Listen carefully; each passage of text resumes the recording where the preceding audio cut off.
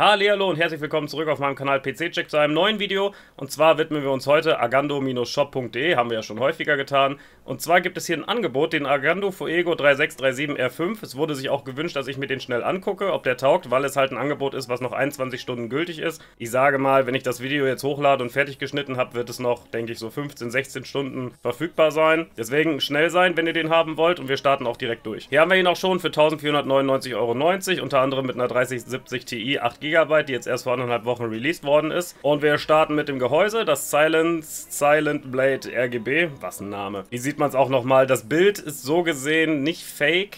Äh, der Lüfter vom Prozessor ist, glaube ich, nicht beleuchtet. Der RAM auch nicht. Ansonsten geht's. Das Gehäuse sieht so aus. Der Lüfter hinten wird wohl da sein auf jeden Fall. Aber das hier könnt ihr euch einfach wegdenken. Das ist, denke ich mal, wieder eher so ein Beispielbild, wie das Gehäuse auszusehen hat. Das Gehäuse, normales ATX-Gehäuse, passt das meiste rein. Es gibt größere und bessere, aber in der Preisklasse reicht es erstmal aus. Kostet bei Geizhals bzw. Mindfactory 39,41 Euro. Ihr seht schon am Preis, ist Einsteigerklasse. Ihr habt ein paar Frontanschlüsse, etc., was jetzt alles nicht so wichtig ist. Ihr habt hier genug Platz, um alles zu verbauen, überhaupt kein Problem. Packen wir so in den Warenkorb. Dazu ein sehr schönes Netzteil, modular. Das heißt, es werden nur die Kabel reingesteckt, die auch wirklich benötigt werden. Alles andere verstopft ja nur das Gehäuse. Das ist ein Big White Straight Power Gold 750 Watt. Was äh, Bronze, Silber, Gold, Platin und Titanium angeht, zeige ich euch mal hier kurz eine Info. Hier wird einfach nur der Wirkungsgrad angegeben. Also 80 plus haben dann 80% Wirkungsgrad, Bronze haben 82%, Silber 85% und so weiter. Ist zum Stromsparen bzw. was die Wirksamkeit dieser Netzteile angeht wichtig, aber das ist wie gesagt gesagt, ein Goldnetzteil ist genau in diesem mittleren Bereich. Passt auch super, ist Be Quiet, halte ich sowieso sehr viel von. Und das kostet bei Mindfactory 110 Euro. Ihr seht schon am Preis, wenn wir mal so diese Boostbox Power Dinger und so nehmen, wo wir da jetzt eigentlich liegen, wenn wir ein gescheites Netzteil nehmen. Das packen wir jetzt auch so in den Warenkorb. Das muss auch sein, weil die 3070 Ti sich eine Menge Watt reinschraubt. Also es muss auf jeden Fall ab 700 Watt aufwärts gehen, das Netzteil. Und seid ihr da wirklich sehr knapp bemessen. Dazu bekommen wir das MSI B450M Pro VDH Max mit dem 450er Chipsatz. Das reicht für den 3600er Ryzen aus, der hier verbaut ist. Ist aber halt ein Micro-ATX-Board. Ihr seht schon, ihr habt hier jetzt nicht so viele Möglichkeiten. Gut, ihr habt vier RAM-Bänke, alles klar. Äh, hier die Grafikkarte. Dann habt ihr noch zwei Erweiterungsslots, wo nur einer noch von verdeckt wird von der Grafikkarte, je nachdem, welche ihr bekommt. Und dann könnt ihr vielleicht noch eine Capture-Card reinbauen oder eine WLAN-Karte. Das war's dann aber auch. Also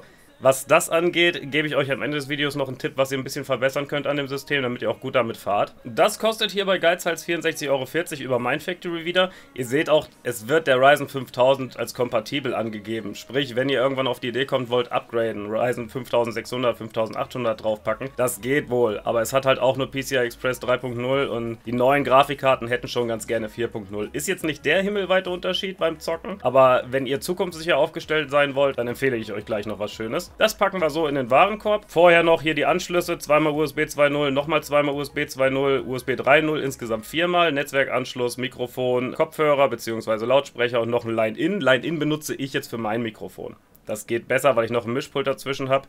Hier habt ihr noch VGA, warum auch immer, DVI und HDMI. Das funktioniert auch nur mit einem Ryzen-Prozessor mit einem G dahinter, zum Beispiel der 3400G oder 3350G. Dann könnt ihr theoretisch noch ein Bild ziehen, wenn die Grafikkarte mal defekt ist. Mit dem 3600er, der hier verbaut ist, geht das nicht. Hier oben habt ihr noch einen PS-2-Anschluss für alte Mäuse und Tastaturen, falls die USB mal ihren Geist aufgeben und ihr ins BIOS müsst oder ähnliches. Aber alles in allen ein grundsolides Board, halt sehr klein. Also ich würde es so nicht kaufen. Als Prozessor haben wir den altbekannten Ryzen 5 3600 ohne X. Das ist der normale, der ist nicht übertaktbar. 6 x 4,2 GHz. Ihr seht hier auch schon am Vergleich. Eine etwas geringere Taktung. Ist auch so der Bottleneck im System. Also wenn was bremst, ist es der Prozessor. An und für sich reicht es natürlich zum Zocken aus. Wenn ihr später mal upgraden wollt, wie gesagt, anderes Board, anderer Prozessor, kommen wir gleich noch zu. Der kostet aktuell in der Box-Variante, ganz wichtig, weil hier ein Lüfter mit dabei ist. Die verbauen auch den Standardlüfter. Der kostet 189,90 Euro bei Mindfactory. Das packen wir jetzt auch so in den Warenkorb. Dazu bekommen wir 16 GB DDR4 RAM, PC 3200, also 3200 MHz, was der 3600er Ryzen auch genau verträgt. Das ist genau die Spezifikation. Ihr könnt theoretisch schnelleren betreiben, ja, aber 3200 ist schon sehr gut. Problem an der ganzen Sache ist, es ist Corsair Vengeance, G-Skill Aegis, Kingston HyperX, also ihr wisst nicht, was ihr bekommt. Da müsstet ihr schon ein bisschen mehr hinlegen, damit ihr auch zum Beispiel die Ripjaws kriegt,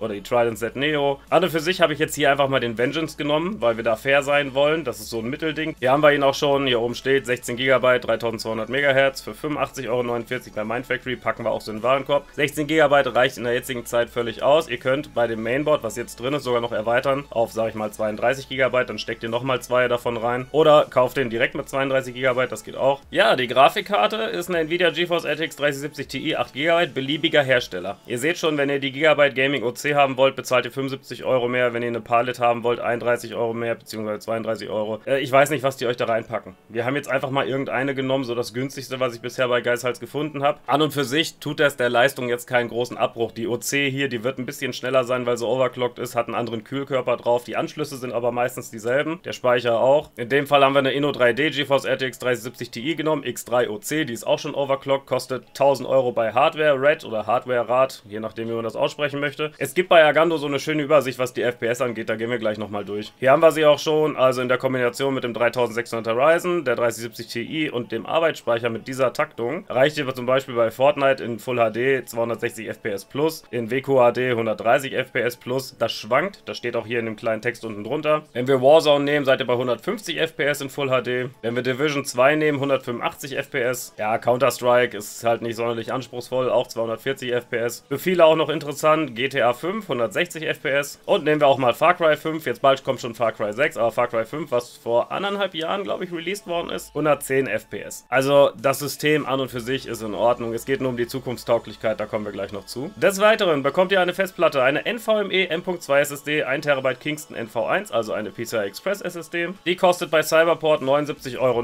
für 1 TB, das reicht erstmal aus. Wenn ihr Windows, Discord, Treiber und so weiter installiert, sage ich mal, habt ihr bummelig noch 900 oder 850 GB zur Verfügung. Das reicht für 5, 6 Games, äh, auch AAA-Titel, das ist schon in Ordnung. Ihr könnt hinterher noch erweitern, das ist nicht das Problem. Hat eine Lesegeschwindigkeit von 2100 MB pro Sekunde und eine Schreibgeschwindigkeit von 1700 MB die Sekunde. Liegt ein bisschen höher damit, wie zum Beispiel eine Crucial P1, die ich sonst immer verbaue. Die packen wir einfach so in den Warenkorb. WLAN hat die ganze Geschichte nicht. Eine 7.1 Soundkarte Onboard 7.1, das wäre mir neu. Wusste nicht, dass man 7.1 an so einem Board betreiben kann. Ich glaube, das ist ein bisschen falsch, was hier steht. Aber ich will mir da jetzt nichts rausnehmen. Ihr zockt ja eh meistens alle mit Headset, von daher ist das auch egal. Ein Lüfter ist vorinstalliert, das ist der, der hinten ist, steht ja auch hier. Dazu bekommt ihr Windows 10 Pro 64-Bit, das kostet bei Geizhals aktuell 28,88 Euro über MySoftware. Das ist quasi immer derselbe Preis, manchmal haben wir auch 27 Euro da stehen. Das ist die Professional-Variante, was ich sehr gut finde, ist für euch nicht sonderlich wichtig. Es geht nur um Vernetzung. Sagen wir, ihr habt mehrere Firmen-PCs, wollt ihr vernetzen, da ist Professional dann schon mal ganz wichtig. Die Home hätte theoretisch auch gelangt, aber schön, dass es dabei ist. Dazu bekommt ihr wieder Bullshit, äh, Bullguard Internet Security 90 Tage, einfach in Müll schmeißen, kennt ihr ja schon die ganze Geschichte. 36 Monate Garantie und Support, das ist geil. Drei Jahre ist schön. Davon aber nur sechs Monate vor Ort Pickup und Return. Alles andere, was danach kommt, müsst ihr dann selber einsenden. In dem Fall kommen sie zu euch nach Hause, holen das Ding ab, wahrscheinlich DHL oder Hermes oder wer auch immer. Sonst müsst ihr es halt zur Post bringen. Wie die Bearbeitungszeiten sind, wenn etwas defekt ist, weiß ich nicht ganz. Also ich habe da noch keine Erfahrung. Schreibt es mal ruhig in die Kommentare, wenn ihr von Agando mal einen PC hattet und ihr musstet den zur Reparatur einsenden, wie lange die brauchen. Dann kann ich das in meinen zukünftigen Videos gut verwenden. Und das wäre es dann auch schon. Wir kommen jetzt zum Endergebnis. Hier haben wir die Kingston NV1 Festplatte. Hier haben wir den Ryzen mit Lüfter. Hier haben wir den RAM-Speicher, die Grafikkarte, das Board, was viel zu klein ist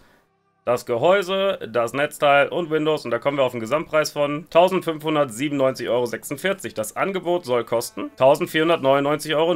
Wenn wir uns den alten Preis angucken, ist es zu teuer. Gucken wir uns den neuen an, ja, ist okay. Er kommt zusammengebaut und vorinstalliert zu euch nach Hause, das ist schon mal in Ordnung. Er ist jetzt 100 Euro bummelig günstiger, als würdet ihr selber bauen. Also das Angebot schlechthin ist es nicht. Wenn der 200 Euro drunter gewesen wäre, hätte ich gesagt, nicht schlecht. Aber an und für sich kann ich das System schon empfehlen und ich würde euch auch empfehlen, folgende Sachen noch zu verändern. Da wären wir hier beim Mainboard. Wenn ihr ein besseres Mainboard haben wollt, was erweiterbarer ist, dann nehmen wir zum Beispiel mal das Tomahawk. Das kostet 27,90 Euro mehr. Da seht ihr aber schon, es ist beleuchtet, ja gut. Äh, ihr habt auch vier RAM-Bänke, aber hier unten könnt ihr zum Beispiel eine USB-Erweiterungskarte, noch eine Capture-Card, noch eine WLAN-Karte reinpacken. Von den Anschlüssen her habt ihr USB 3.1 und nicht 3.0 und davon drei Stück. Zweimal USB 2.0. Ja, hier wieder Onboard-Grafik, was ich nicht nicht braucht, USB-C. Braucht zum Beispiel die Logitech Streamer Cam. Es gibt so eine Streamer Webcam, die hat USB-C. Klar, ihr könnt einen Adapter kaufen, aber hier habt ihr es direkt an Bord. Und hier ist richtiges 7.1 und nicht einfach nur diese drei Anschlüsse. Für wen das wichtig ist, wer vielleicht den Rechner irgendwie für Multimedia, Filme gucken benutzen möchte und hat ein 7.1 System zu Hause, für die ist das wichtig. Und für wen es vielleicht noch wichtig ist, was WLAN angeht, MSI B450 Gaming Pro Max Wi-Fi. Da habt ihr wieder die schöne RGB-Beleuchtung, wie ihr das immer so gerne habt. Hier habt ihr aber auch noch folgenden Vorteil. Die M2 SSD ist gekühlt gekühlt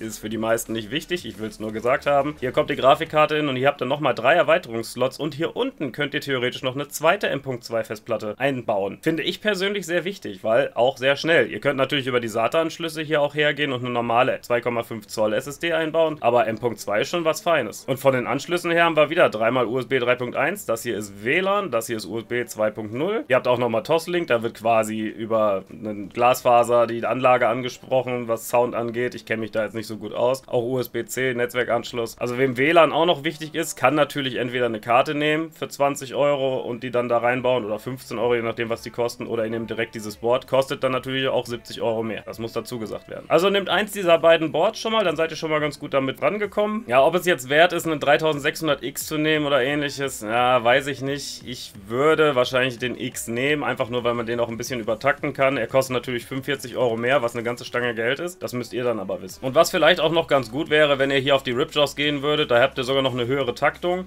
wenn es der Ryzen verträgt. 16 GB, da habt ihr aber sofort die Gewissheit, welchen RAM ihr bekommt für 40 Euro mehr. Das bleibt euch aber auch überlassen. Aber alles in allem ist dieses System okay. Ihr werdet damit keine Probleme haben, es sei denn, ihr wollt wirklich später erweitern, dann werdet ihr es merken. Wenn ihr einfach nur zocken wollt und mit dieser ganzen Thematik Erweiterungen nichts zu tun haben wollt, dann holt den ruhig. Ist kein Problem. Vielleicht habt ihr sogar Glück kriegt als RAM dann den Corsa Vengeance oder Kingston, weil ich halte von Aegis ja nicht viel, ihr wisst es ja. Und somit sind wir auch fertig mit diesem System. Vielen Dank fürs Zuschauen, abonniert den Kanal, wenn ihr es noch nicht gemacht habt, lasst einen Daumen nach oben da, ich würde mich sehr freuen. Ich lese auch immer alle Kommentare. Schreibt ruhig rein, was ihr von dem Video gehalten habt, beziehungsweise von diesem System. Vielen Dank fürs Zuschauen, auf Wiedersehen und ciao, ciao.